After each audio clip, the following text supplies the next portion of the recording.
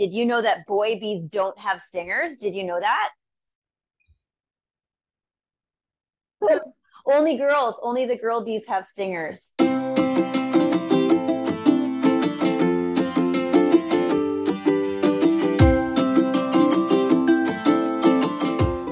Hello? We hear you. Yay! How are you? I'm a bee. wow! Look at that! no, no, no, no, bring it over here. They she couldn't see it. Stinger. What? hey, Aiden, how you doing? Dad. Welcome to interviews with Daddy and, Aiden. or today should it be Daddy and the Bee, or Daddy and the bee. Daddy and the Bee? and today we're speaking with. Are we speaking with a bee? Now we're speaking with a beekeeper. Ah, beekeeper. I keep getting confused. The beekeeper. So today we're talking to Cassie Gibeau, who is partially an owner at Honeybee Centre, which is responsible for overseeing education, outreach, and events related to bees. Uh, she has been educating kids and adults on the importance of bees and our environment for the past seven years. Cassie is one of the growing number of women who recognize that we need to design a plan for beekeeping both locally and on the whole globe to make sure that it has the role in food security, sustainability, and our climate. She's raised and born and raised in Burnaby, British Columbia, which is where, remember? In which country? Talked about it. Canada to our north in Canada. And she's a teacher and a mother and an outdoor uh, and a lifelong love of bug and dirts. Uh, Cassie originally pursued an early childhood career until she married into a beekeeping family. Cassie's passionate about leaving a healthy world behind for generations to come. She wants to educate and share this passion with others and believes that bugs and bees play a role in helping us achieve this goal. Thank you so much, Cassie, for being with us today. Yeah, thanks for inviting me. Help us to What be make say? bee honey. Yeah, they do. Yeah. Yeah, you got it. Yeah. Do a lot They have an even more important job, though. You know what the even more important job is? And collect pollen Yes, and That's spread right. it in Ah. other flowers. that's right. You got it. That is right. And you know, without bees, we wouldn't have fruit and vegetables and no food for cows. So no dairy, no ice cream. What? Yeah, it's important, right? We want to make sure that we take care of the bees because I like ice cream. Do you like ice cream? I like strawberries. You like strawberries? I yeah um only if they're not sour. Aiden and I want to keep interviewing the coolest guests in the entire world. To help us do that, please subscribe and share our show so that we can get more people who are interested in being here with us. Have you ever got a bee sting? Yeah. Yeah, I I got have. a bee sting too on my foot. It's kind of memorable, isn't it? How- it's memorable, right? How was your bee sting experience? Um, bad. Bad. Yeah. If I still had the sting in me, I could sting Daddy. No, don't do that. When did this happen, Aiden? A long time ago or recently? Um, recently. Just as recent Yeah. as, as recent as last week, right? Yeah. Oh, geez. Does it still hurt? Is it still itchy? Um, now it does hurt. Yeah. Um, before a few hours ago, it hurt. Yeah. It did. Okay. Yeah.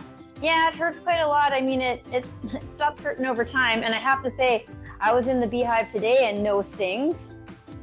So, I think that gets a thumbs up. And I was at boogie boating, and then I walked up to the show, and there was a bee, and I stepped on a bee. Yeah.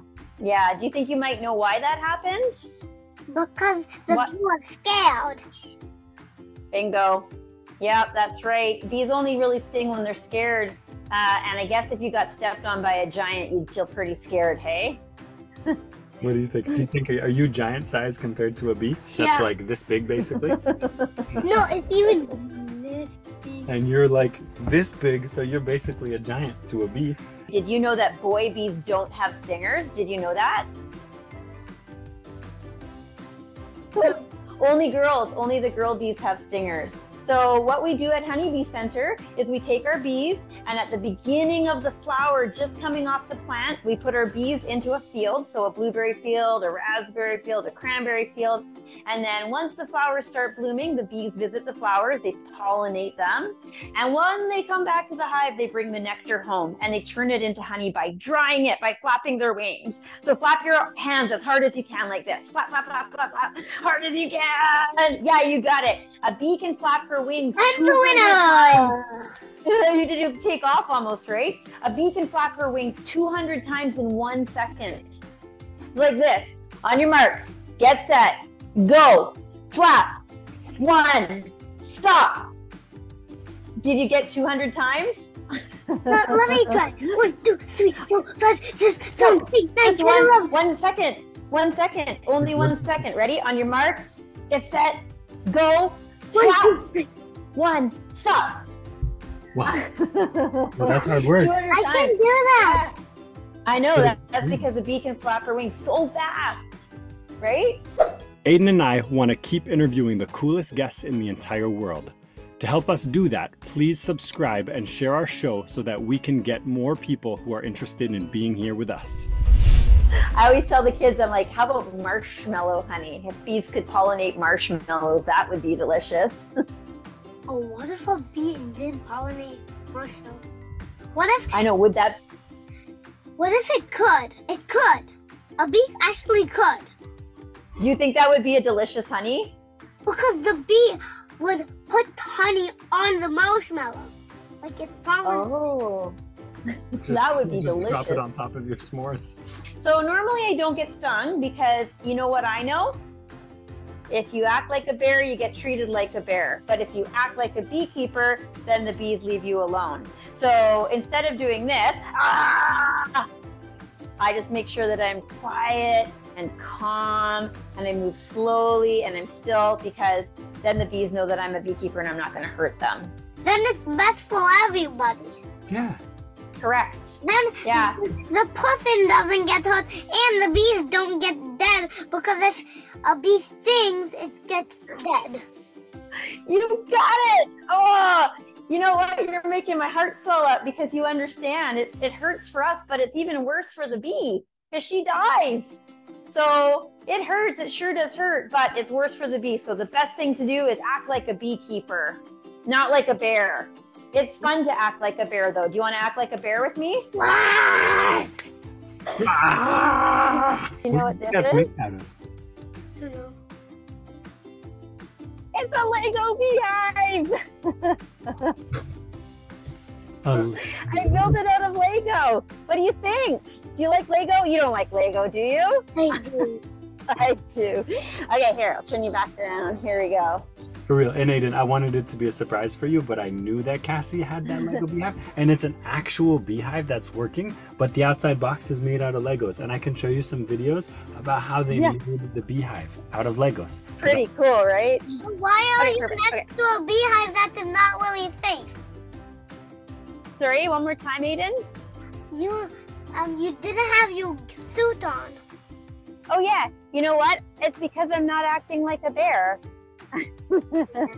Isn't that interesting? So- and she's not scared. She's just like, there. I see all Yeah. these bees flying around. You can see them too. And does she look scared? She's just being calm. Look at there I they are, right? See, can Look, you look, look. all here? That's the Yeah, there's- one. That's the Barbie one that I'm talking about. Now I really look like Beekeeper Barbie. I'm gonna have to tell. I'm gonna tell all my friends that Aiden says I look like Beekeeper Barbie. I think. I think that's the best compliment I've had all uh, all year, buddy. Aiden and I want to keep interviewing the coolest guests in the entire world. To help us do that, please subscribe and share our show so that we can get more people who are interested in being here with us. How many eggs does the queen bee lay? Or how many can it lay? Yeah, so the queen bee can lay about 2,000 eggs a day in the spring and summer. 2,000 Yeah. babies a day. Yeah, can you imagine? That's this is so lucky because we don't often find the queen. Eden, this is you're like, it must be because you're dressed up like a bee. yeah. Yeah, you're right, Cassie. Yeah. That's exactly. Yeah. What if a bee looked at me and says, "He's a bee"? Yeah, maybe He's that's a the bee. queen came out. Yeah, we're safe. He's a bee. Let's uh, show him our mom. There she is. Super Such a cool. Exciting day. So if you want to find more about Cassie and the Honeybee Centre, then there's a few places that you would go online to see stuff. One would be on Instagram. Uh, they have a page that's called Honeybee Centre Kids. Wait, don't do this right now. Honeybee Centre Kids, and it's spelled center is spelled C E N T R E instead of like the American way. So it's Honeybee Centre Kids, and again, it's C E N T R E.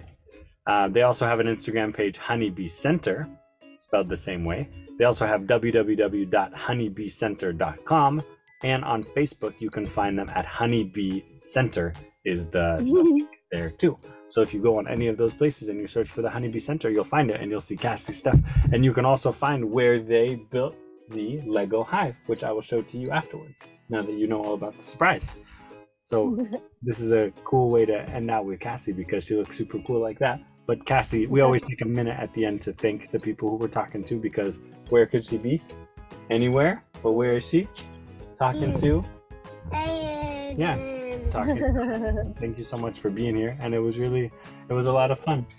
Should we, Yay. we Go tooth. Gold Tooth, should we buzz our way out of this? What do you want to do? Let's buzz out of this. Oh yeah, should we should we flap until I until I'm able to push the end button? Aiden and I want to keep interviewing the coolest guests in the entire world. To help us do that, please subscribe and share our show so that we can get more people who are interested in being here with us.